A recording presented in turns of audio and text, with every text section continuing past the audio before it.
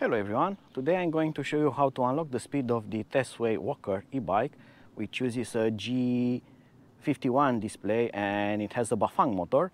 So you press plus and minus here and you keep them pressed for a few seconds and you get this P something and you find here P08 P08 25 represents the speed limit. And then with plus and minus you can adjust the speed limit so you can lower it if you want to go even slower than that.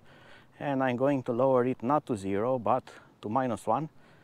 Zero zero and if you go minus again it goes to 100 kilometers per hour. Of course the bike will not do 100 kilometers per hour but it's going to try to do that so it actually unlocks the speed and if you leave it for a few seconds it's going to go back to the original menu or you can again press plus and minus and it's going to exit the menu.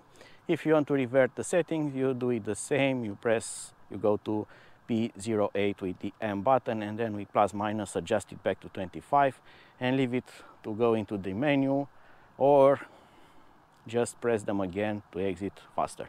And that's how you remove the speed limit of the bike. And now in the biggest assist mode, in the fifth assist mode, you get unlimited motor power and also motor speed. And related to that, this bike has a, a variable power. So these are not only speed limits like on other assisted bikes.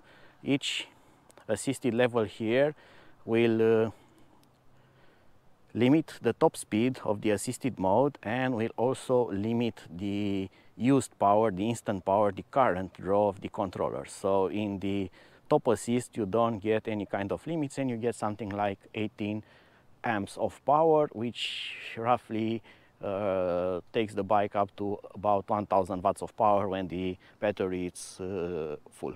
So take that into consideration. Also check here, I have more videos related to this uh, wonderful bike. You can check them out.